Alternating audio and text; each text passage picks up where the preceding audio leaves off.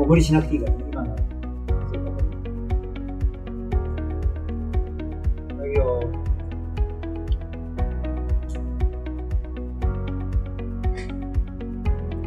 OK、分かったことがあるから。ちょっとそうになってるよ。で、関係あるかどうか。はい。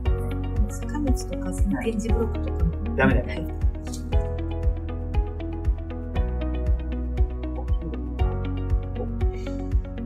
長めに歩いてごめんね。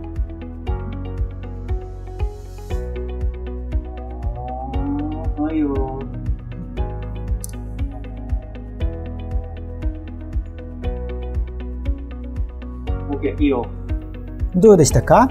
この患者さんは、まあ私のね、えーところにこうやって歩いてくるときにもうすごい箱で入ってきて、こうやってね、もうずっと困ってる患者さん、これたくさんいますよね。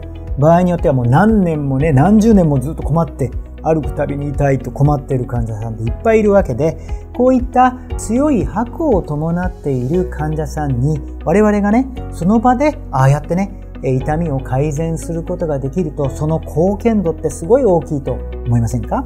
そういったことも含めて、我々にはもうこうたくさんいろんなことができるということ、これを皆さんに知ってもらいたいと思いますし、今回は痛みが強くなるとこういうふうにね、強い波行になる一つとして、モートン神経腫がありますので、このモートン神経腫の病態と力学の融合した治療、これをね、皆さんにお伝えしたいと思いますので、一連の映像をご覧ください。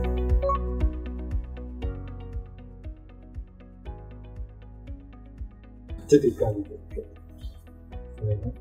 もう無理しなくていいからね、今のそういう方に。はいよ。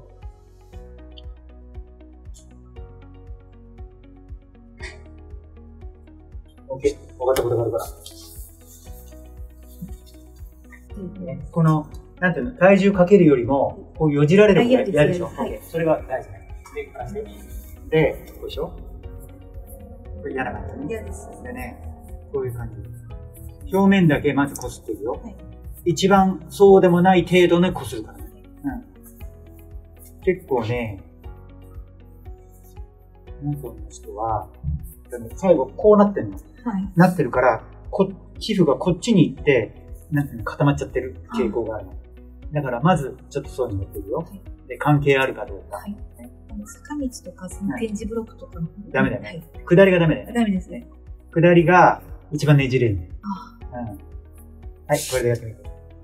この感じ。変わるかどうか。変わんなかったら変わんないで、どんどんしていくから。多少楽です。最初楽ね。はい。OK。じゃあこれでいいよ。で、こうしたら、今度は筋膜切ったから、ここのところ。痛い。これこれが痛いね。でね、でもね、こっちに行っちゃってるから、はいちょっとこうして。筋膜系は痛くても、こういう感じ？張って、外に引っ張っていい。大丈夫？ね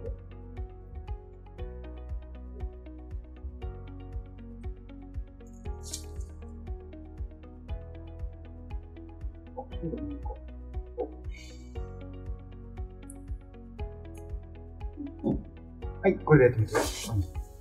いろいろやめしたりして。大丈夫です。でなんか指のちょっと違和感が。でもだいぶいい。はい。違和感はね、神経の場合はね、どうしても残るの。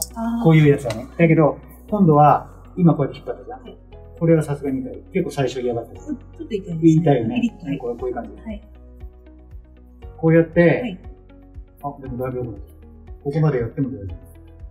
こうやってこっちに流し込んであげるっていうのを毎日やるだけでも、はい多分いいかもしれない。はい。はい。で、これでやってみて。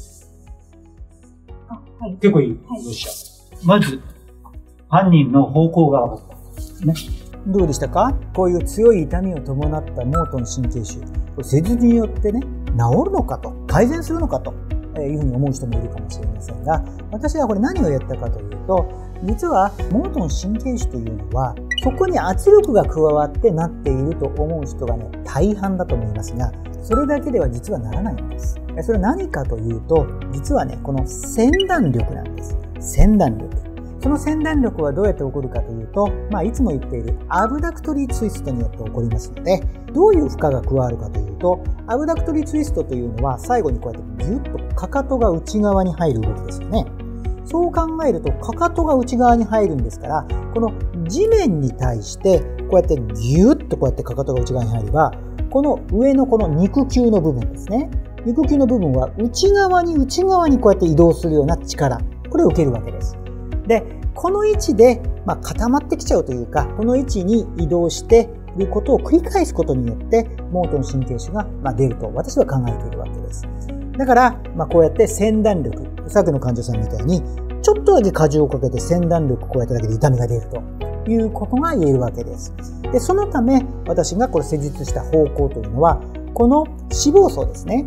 まあ、犬でいう肉球の部分ですけど、この脂肪層を外側にこうやって擦っていたというのは、そういう意味があるわけでございます。えー、それを踏まえて、え、実際に、え、この歩行を変える、ね、ところがありますので、この歩行の変化もこれも含めて、残りの映像も見てみましょう。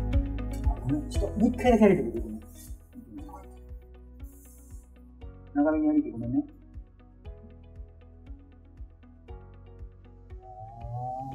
はいよ。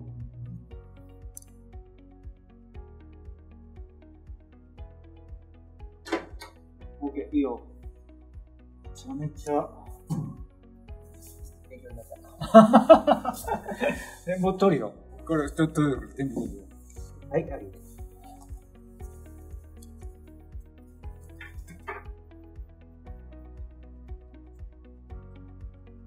分かったでしょ？見えなくなっちゃうんだよ。え、これまだいいんだよ。来たと、入ってきたときに。うん。あの、あ、戻ってダメだよな。乗れな、乗せ、乗せれないよ。はい。はい、で、これでいこう。いいことやりますよ。オッケー、でもいいよ。で、長めに歩いてみて。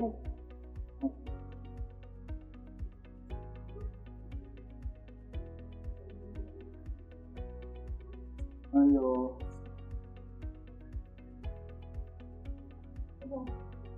まっすぐいいんですけど、こう、曲がると足あ、そうだね。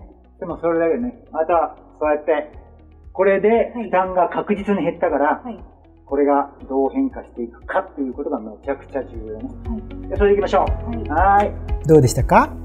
ね、ここから皆さんには、えー、このね、私がね、どうやってこの方向を変えたのかということ、これもちろん知りたいですよね。えー、それについてお伝えしたいと思います。